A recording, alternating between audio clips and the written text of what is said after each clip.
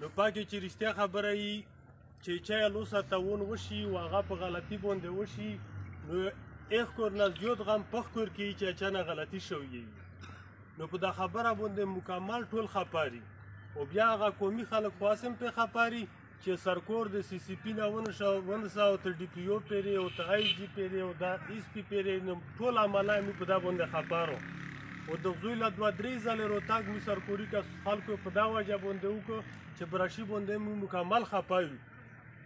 نو دغه وجه نه مو نن چې دا کوم شلون رو جمع شوي دي او دا کوم سرکوري خلک مې رو جمع کړي دي نو موږ صرف او صرف دغه مقصد لرو غلي یو چې پرمنځ کې دا کوم تو تریخولی دی او دا ختم شي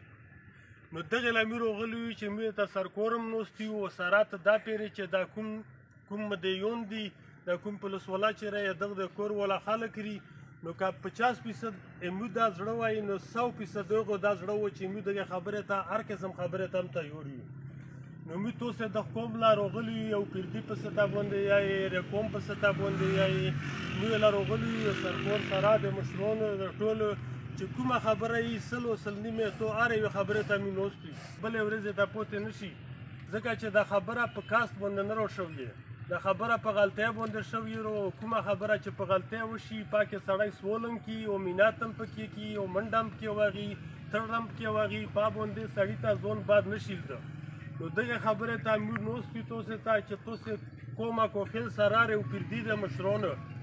تو سه کومه خبره مو ته وکړو سره د دغه ورساو نو خبره به مو ته 100% منزور ای ان شاء الله نو خبره ای او تو سه تم نو سپی نو هیلپ کو په دا روغه منډه کې سره هیلپ کو پر جوړه کې چې دا په منځ کې دا تو تری خولای ختم شي او دا خبره نور او ګدان شي